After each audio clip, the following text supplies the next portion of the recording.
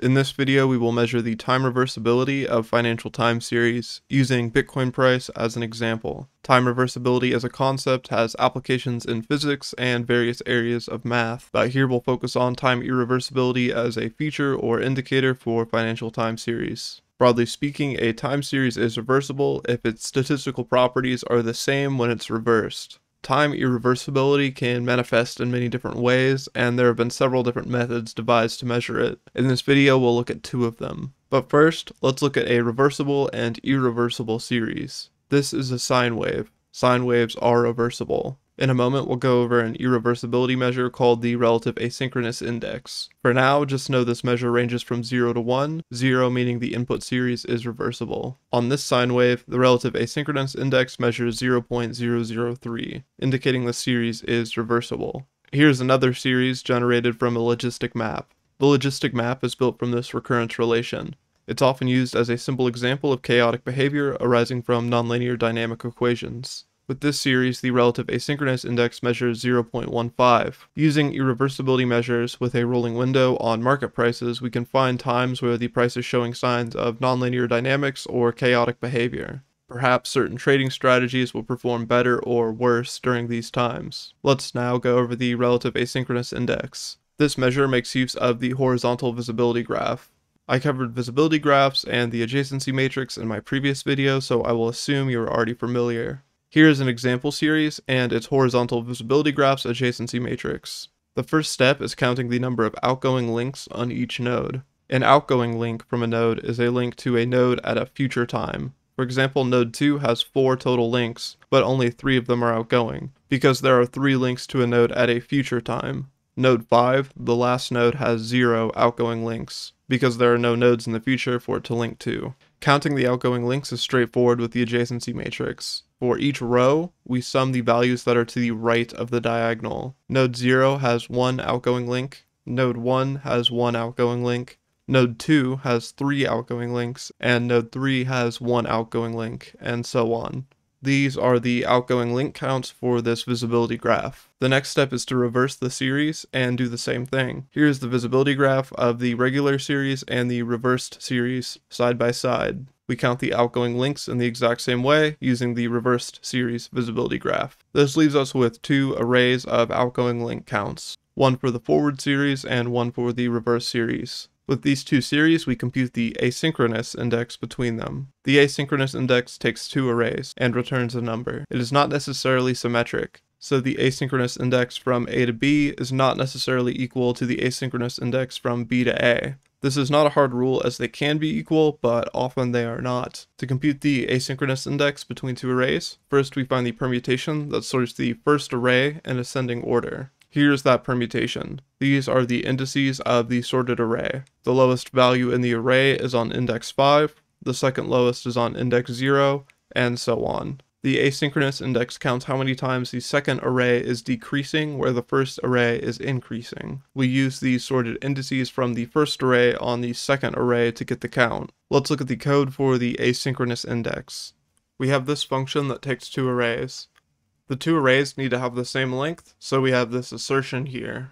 We find the permutation that sorts the first array. This normalization constant is the maximum amount of ways the two arrays could differ, we use it to normalize the final count. We keep track of the amount of times the two arrays have different orderings in this variable inversion n. Then we move on to these nested loops, which will check each pair of values in the second array. Note that j will always be larger than i. We find the difference between each pair of values in the second array using the sorted indices from the first array. If the two arrays are synchronized, having the same order, the difference should always be 0 or less. If they are out of sync, the difference will be greater than zero. In that case, we increase the counts. We divide the final count by the normalization constant and return. Now let's look at the code for the relative asynchronous index. This function takes in a single array or time series. We create two visibility graphs, one for the regular series and one for the reversed order series. We build them using the array and the reversed array. This numpy function flip reverses the order of the input. Then we get the adjacency matrix of both the visibility graphs. Now we count the number of outgoing links for both of the graphs. We create arrays to hold the number of outgoing links at each node. We loop through each row of the adjacency matrix, then get the sum of the links to the right of the diagonal. This row indexer will get the values from the diagonal to the end of the row. Now we have the number of outgoing links for the forward and reversed series. Then we compute the asynchronous index between the outgoing links in both directions from forward to reverse and reverse to forward. The relative asynchronous index is the ratio between the minimum and maximum of these values, so the ratio will always be 1 or less. We take the logarithm of this ratio and flip the sign. This way the final value will have a minimum possible value of 0 and a maximum possible value of 1.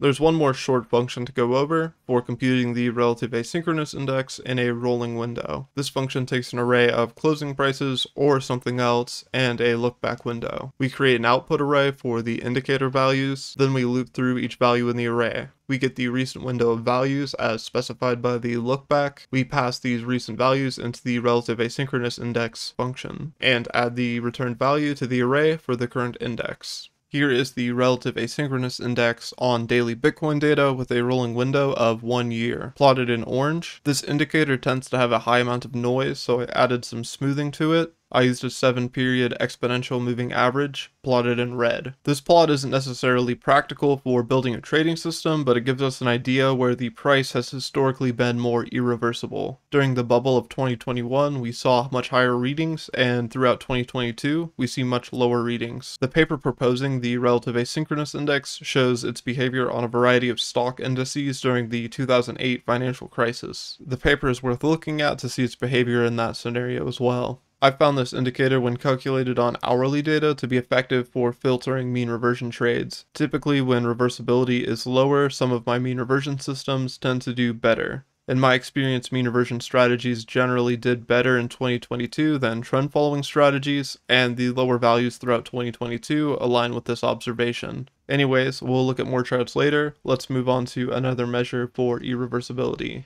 This next measure is from this paper. The measure compares the distribution of permutation patterns, also known as ordinal patterns, from the forward series and reversed series. Conveniently, I have a video about ordinal patterns already. In that video, we compute permutation entropy of financial time series. This reversibility computation is quite similar. I'm going to assume you've watched the ordinal patterns video already. Just like in the permutation entropy video, we find the probability distribution of ordinal patterns for the series. Then we reverse the series and find the probability distribution of ordinal patterns for the reversed series. The reversibility measure is the Kullback-Leibler divergence between the two distributions of ordinal patterns. Let's look at the code for this measure.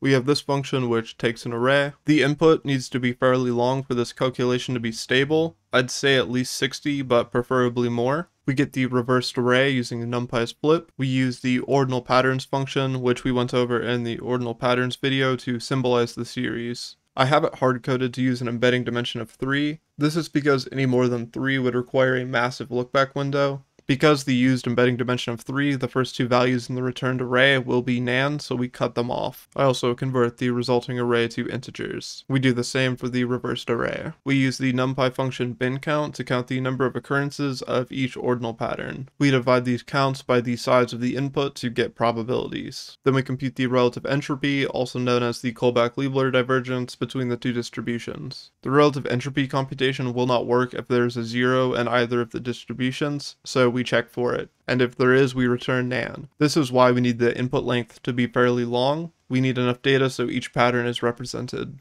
Here is the function to compute this measure with a rolling window. We take an input and a window size.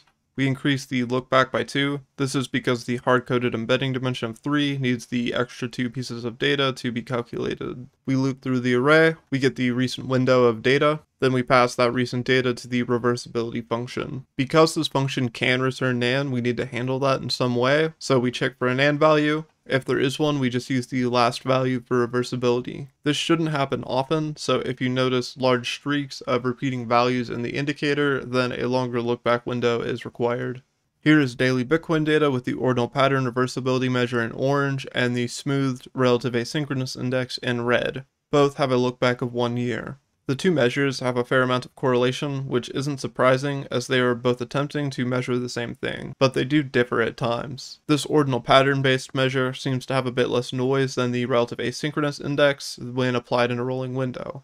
There is no smoothing applied to the orange series. Here are the same indicators on the hourly time frame with a look back of 168 or one week. I found this indicator useful in a meta labeling setup for a mean reversion system. These indicators will probably be most useful to those of you utilizing machine learning in your trading as these reversibility measures are hard to interpret manually.